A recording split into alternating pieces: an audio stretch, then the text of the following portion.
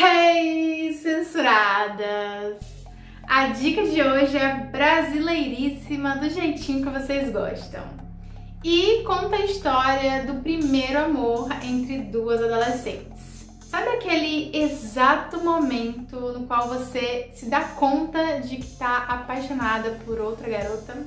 E depois, quando você tá tão louca de amor por ela, que parece que perde totalmente o controle sobre seus sentimentos, ações e pensamentos? Pois é, é sobre isso. Te interessa? Então já deixa seu like e fica comigo até o final que eu te conto tudo.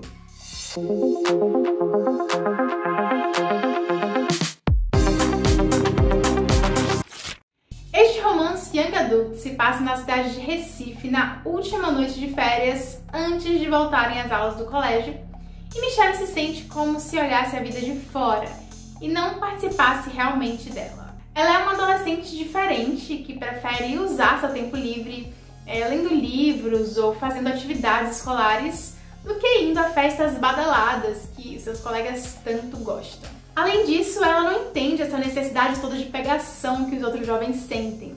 Na verdade, ela nunca se apaixonou por ninguém e nem dá tanta importância a isso. Porém, sua vida muda quando no dia seguinte uma nova aluna entra na sua turma, a Caterine. Intensa e com gosto peculiar, logo ela se torna a melhor amiga da Michelle. Assim, um ano que prometia ser super tedioso, como todos os outros, agora promete muitas surpresas. Certo dia, durante um projeto de filmagem para matéria de artes, as duas se beijam e descobrem que esse beijo pode mudar tudo que acontece depois. Eita, será que acontece depois daquele beijo, hein? Bom, eu não quero dar spoilers, mas eu preciso dizer que essa trama é toda narrada pra gente pela própria Michelle.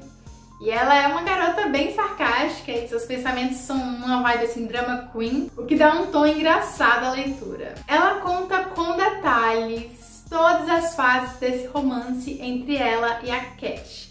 Como que ela descobriu né, essa paixão pela Catherine, como que elas ficam horas conversando no telefone, como que ela começou a se sentir viva de novo depois de conhecê-la e como que as coisas foram se encaminhando ali para chegar na fase dos amassos. Porém, eu preciso te alertar de que a Michelle é um tanto quanto sonhadora.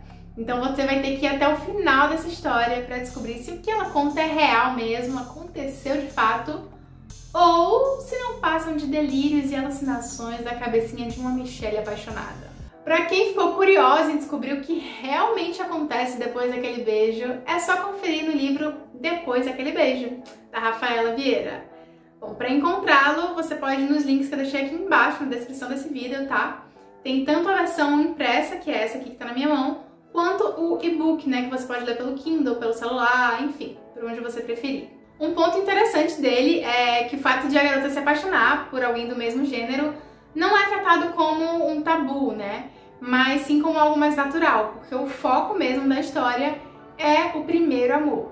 No livro você ainda vai conhecer a família nada fácil da Michelle, com direito a uma tia super insana que quer viver eternamente como se fosse jovem além dos amigos populares da protagonista, que não tem nada a ver com ela. Para fechar com chave de ouro, no final tem um capítulo extra, no qual a Caterine conta a versão dela da história. Bom, esta dica de literatura lésbica nacional de hoje tem mais de 400 páginas por ser uma edição especial exclusiva com cenas extras em comemoração aos 10 anos de lançamento do livro. É uma leitura super fluida e nostálgica que te transporta para o período da adolescência e faz você devorar o livro de forma super rápida. Além disso, eu tenho a impressão de que vocês realmente vão gostar do final. Quem curte cultura pop também vai adorar as diversas referências a músicas, séries e filmes. De quebra, a história nos faz viajar para a capital de Pernambuco, conhecer vários cantinhos da cidade e ter contato com as gírias locais. Um bônus que eu tô adorando ver as autoras LGBTs brasileiras fazerem é colocar uma degustação de outro livro delas no final, porque assim a gente já conhece um pouquinho de outro romance, entende melhor qual é o estilo delas e aí já ajuda a gente a escolher a nossa próxima leitura, né? Desta vez, a Rafaela escolheu nos presentear com um trechinho do seu livro lésbico erótico chamado Cherry. Parece bem interessante. Ela também nos conta que outras obras já escreveu e qual o estilo de cada uma delas. Com direito a young adult, drama pansexual, bissexual erótico, conto lésbico. Todos eles estão disponíveis também através dos links na descrição. Para finalizar, eu queria destacar que Depois daquele beijo foi o primeiro romance young adult lésbico nacional a ser publicado e ele ainda foi publicado pela primeira editora lésbica da América Latina. Assim, abrindo portas para diversas outras obras juvenis do gênero entrarem no mercado. Arrasou, né? Se você quiser conhecer mais dicas de literatura LGBT ou mesmo descobrir novos filmes e séries do Vale, já se inscreve aqui no canal e ativa o sininho de notificações, porque toda semana, sem falta, trago novos vídeos com várias dicas pra vocês, tá bom? Além disso, lá no Instagram eu publico dicas LGBTs todos os dias e sempre aviso quando sai vídeo novo aqui no canal, então me segue por lá também. Por hoje foi por aqui, um beijo e até logo!